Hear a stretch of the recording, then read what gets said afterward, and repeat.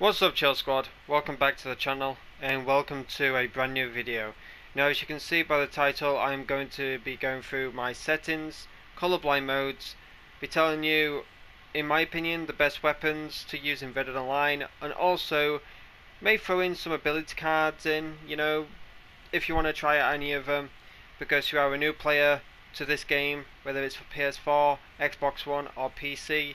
If any of this helps you out, then be sure to let me know in the comment section down below. Feel free to drop a like, and if you are new around my channel, be sure to subscribe.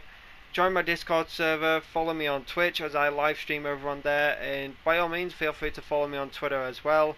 But without further ado, ladies and gentlemen, let's get into this video. Now, the biggest question that I have been asked several times is how did I get this pink color on my settings now it's simple. Go to settings display and colorblind mode. Now I will get into this so I can get over and done with and then I'll go through all the other things. But the colorblind mode that I use is this one. Now in my opinion this is the best colorblind mode that I have ever used. I have tried out the other ones which is this one and also this one. Now I will be showing you what it looks like with the colorblind mode off, with it on, and hopefully you can decide whether you want to try out some of these or you just want to keep it off completely. So colorblind it, mode is off and I'm just going to go to my map and this is of course what it will look like. Now when I was playing the game and I was seeing all of this, it didn't really bother me. But after a while, I was saying to myself, okay, the map is looking dull. There's nothing really nice to look at around here. So I tried to flip through some of the colorblind modes and I found the perfect one. Now, let's try out the one that I use, which is probably most of the people's favorites that have asked me about this. They've said that it looks really nice, it stands out. There's just like so much stuff that they've said. But this is what it looks like if you have the pink colour on. Now, as you can see from the colorblind mode being off to having it as the pink one, there is so much life to this game now. There is a lot that stands out and I just honestly love the way the map looks and also the waypoint as well of course it's pink I'll zoom in so you can see better but it's pink and it just honestly looks beautiful and I'm honestly loving it. The colours that stand out the most to me are white black brown red purple pink yellow and a few blues as well. So from me seeing colorblind mode off trying out these colours of the clothing to having it as the pink colour, there's just like so much difference in my opinion that I see. Now if you are colourblind and you want to try out this, then by all means feel free to do so. But I will be going through this one as well. Now this one doesn't really show you much life on the map. The colours are dull. You see your camp is dark blue. Your waypoint is like a blood orange, I guess you could say.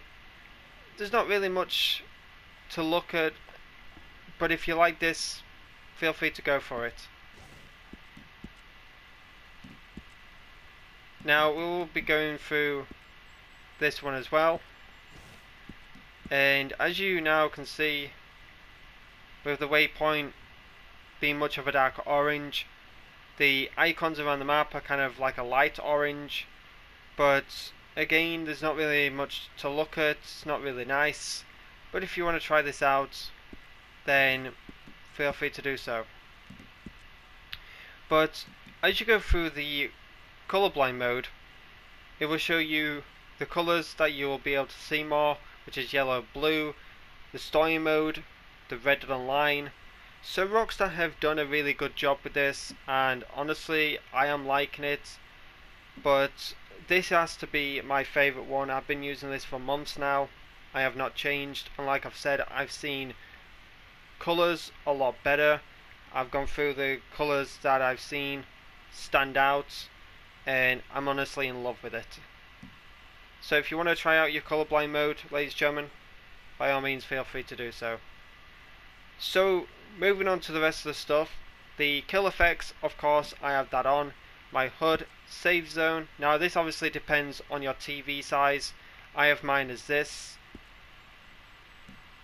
My HUD preset is custom. My status icons are dynamic. My subtitles are on. I have my subtitle speakers names off. My weapon reticle. Now this one is a huge difference. I've seen a lot of people use this one. That is fine. But if you want to go ultra realistic, then you can turn it off. But I have stuck with the dot for a while. It has somewhat helped me out. I have also tried it with off and honestly if you are a first person kind of player then go realistic. This will be the best one for first person as you are able to go first person in this game. Now, of course, the rest of the stuff, the score timers, the ticker, central messages are on. Vertical messages is off. Invites on. There's like so much stuff that you just can go through on this. It is absolutely amazing. Now, let's get into the controls. Invert look is off, vibration is off, Sometimes I turn it on if I'm looking for treasure maps or anything like that.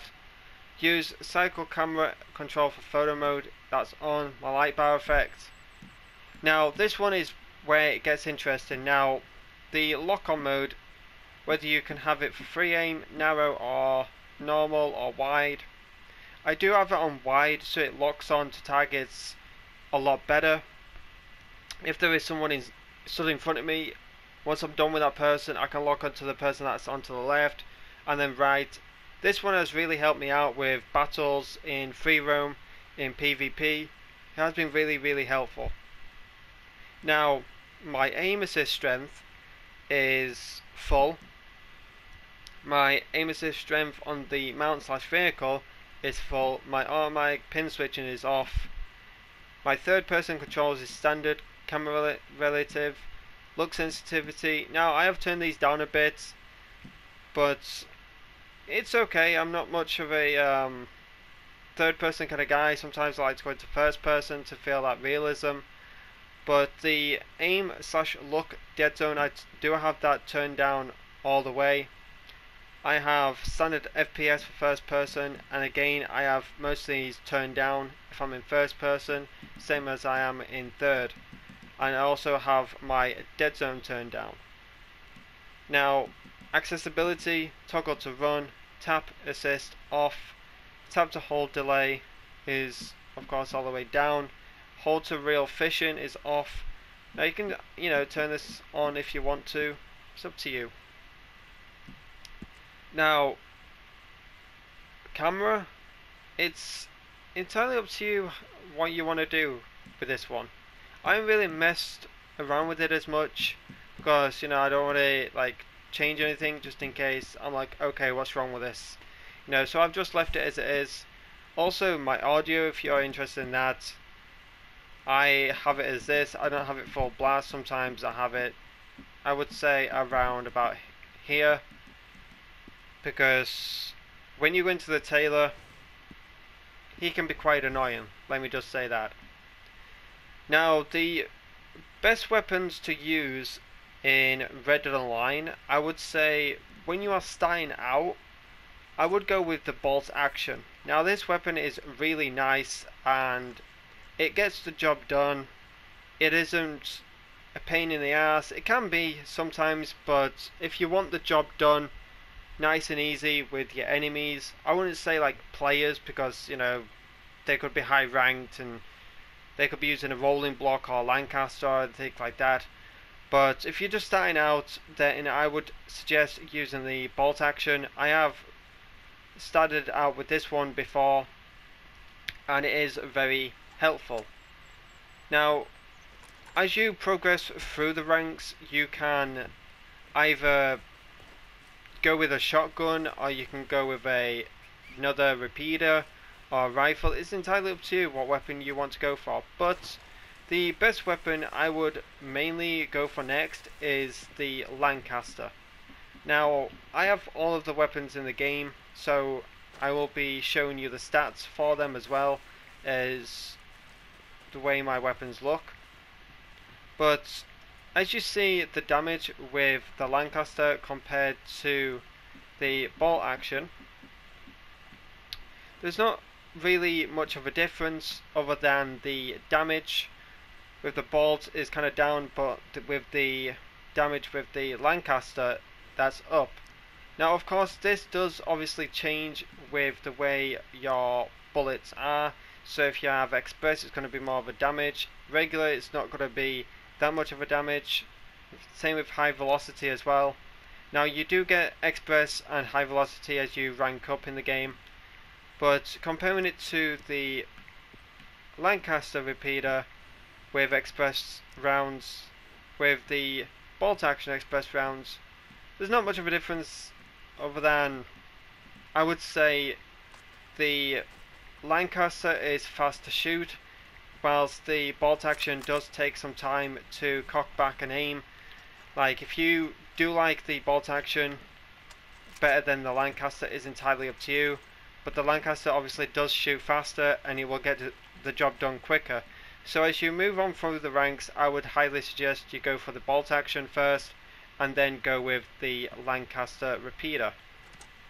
Now you may say to me, okay Aidan, so what is the best shotgun for PvP. The best shotgun to use for PvP, as most of the PvP experts would say, and that's the double barreled shotgun. Now, don't mind mine being in invisible, let's just ignore that. But um, the double barreled shotgun is really nice to use for PvP and it also is good for the paint it black card. But if you do like free aim in this game, I wouldn't suggest the double barreled shotgun. I would suggest the semi-automatic shotgun. Now this one is very nice, it is smooth, it is fast, and if you like to spam the R2 button or R1 or whatever button it is you use to shoot it is really nice. It also doesn't have that much in bullets. So make your shots count. Now the reload as well, it can be quite of a 50-50 situation and that's why I'm saying make sure your bullets count because as soon as you run out of the bullets and you're reloading, you could be dead instantly. So I would go with the semi-automatic shotgun. Now the repeating shotgun, I would say it's an okay shotgun for like close range. But that's why I would say the double barreled shotgun is better at close range than the repeating shotgun. Maybe the pump action can get the job done quicker. But it's up to you on what weapon you want to use. Now, you may be moving on to hunting. Now, if you like hunting or love hunting in this game, the best weapon to start off with is the varmint rifle. This can take down small animals such as rabbits, skunks, raccoons, muskrats, opossums, but the bolt action is best for taking down deers, bucks, bears, anything that is medium size to large size, I would guess. So the best hunting weapons to use, I would say, is the varmint and the bolt action. Now you can also use the bow for squirrels because if you use the varmint it can vary on whether it damages the pelt or it doesn't but the bow does give you options on the kind of arrows that you use. Now you have dynamite, you can have poison, you can have small game, and you can have just regular. Now, I was starting out with a bow for a little while, and then I was switching to the varmint. But the bow did help me out with certain animals, like I was saying with squirrels and that, with the small game arrows. They were perfect for me to get the 3 star pelt if I wanted it. And if I wanted a rabbit, I would use the varmint rifle. Now you may be moving on to the uh, revolvers. You may be asking me what are the best revolvers in this game. I would say the best ones are Schofield. Now I've been using a Schofield for a little while. They have got the job done for me, but they have also let me down sometimes. So I would more or less like switch between the LeMats, the Navies, or if you like the fast type of weapons, I would go with the Mausers, or I would go with the semi-automatic pistols. Now, what I have done as well is when I have been in PvP, I have tried out the Mauser and the semi-automatic pistol, and trust me, they have been really, really helpful, and I have really liked the way that these weapons have acted in PvP. And it is up to you if you want to try the Mauser in the left, the semi in the right, or the semi in the left and the Mauser in the right.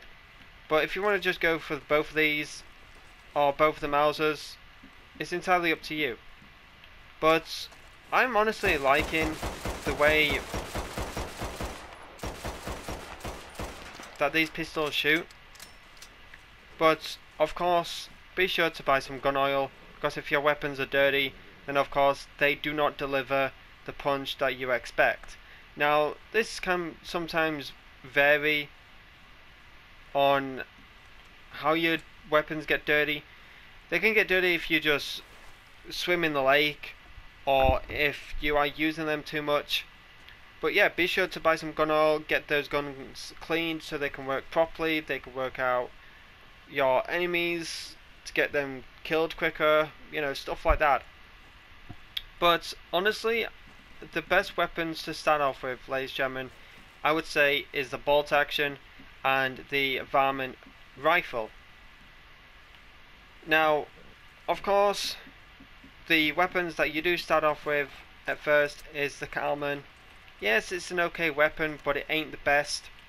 So as you progress through the ranks, it's entirely up to you on what weapon you want to use because like I said I've got them all so I just choose between them but I do like the Schofield if I'm going on a moonshine run or if I'm going in a trader run I would have the Schofields and they would just get the job done for me or I just run in with a shotgun and go ape shit but other than that like I really do like the Schofields I do like the varmint for hunting, and of course I like the bolt for getting those big game animals, giving them to Cripps.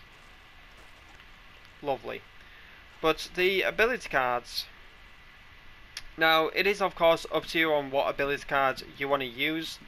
But the best one to start off with, I would say, is the Paint It Black. Now, if you're not much of a Paint It Black person and you like Focus Fire, this is best for sniping. Now I'm not sure about the other three cards that I don't have unlocked, but I do obviously know about slow and steady. This one can make you really good, I would say, in PvP, but it can also vary because, you know, if you want to go with this card, that's up to you, but you've got the meaning behind this card, but I've also stuck with Paint It Black. It's always been my go-to card. Now, for your first, second and third passive, you will get the second and third as you progress through the ranks. But the ones that I run with is Sharpshooter, and that's whilst using a scope, you deal much more damage and take much less damage. With this card, Gunslinger's Choice 3. While dual wielding with ranged weapons, you deal much more damage and are much more accurate. And of course the last one is winning streak. Each consecutive shot on the same target does much more damage than the last. Damage bonus ends if the target is not shot for 10 seconds. So be sure to make your shots count ladies and gentlemen. But if you want to try out any of the other cards, that is entirely up to you. But I've also got Fool Me Once. I've got Friends for Life. And I've also got the Unblinking Eye 3. Now I do have other ones unlocked, but I have stuck with these cards for a while. And they have helped me out in Painting Black. They have helped me out in free run battles they've just done so much good for me. But if you want to try any other cards, then it's entirely up to you. But honestly, I am loving this game as a whole. And I know a lot of you may be saying, is this game worth buying? I'm not too sure on PC side of things because of what's been happening. Now, if you are clueless about what's been happening on PC, modders hackers, cheaters are flooding the servers using popular streamers' names to get them banned and I just wouldn't recommend playing online on PC. Graphics wise, for story mode, absolutely amazing. I would get this game on PC for the story mode purposes so you can get the ultra graphics side of things and just enjoy the story mode as a whole for online, whether you have an Xbox or PS4, that's the best place to, of course, play online. And I am on PlayStation 4. I have not dealt with hackers, modders, cheaters as much, but you do get lag switches. Now, what lag switching is, it's where your character is lagging all over the place for the other person, but you're perfectly still on your end. So for me, if I'm aiming onto an enemy, I'd be able to kill them correctly and without issues. But for them, they will be having issues because they'll just see me lagging all over the place and they won't be able to kill me as much. Now, if you want to add me on PlayStation 4, if you want to make some money in this game because you are new, I am more than willing to help you out. I will leave my PS4 gamer tag in the description down below also, I will be leading my Discord, my Twitter, and also my Twitch as well. I do live stream on Twitch, so if you want to check me out over there and let me know that I've helped you out, then I'll be more than happy to give you any more tips if I come up with any. But other than that, ladies and gentlemen, that has been it for this video. I will see you all in the next one. Peace out and hashtag Stay safe, everyone.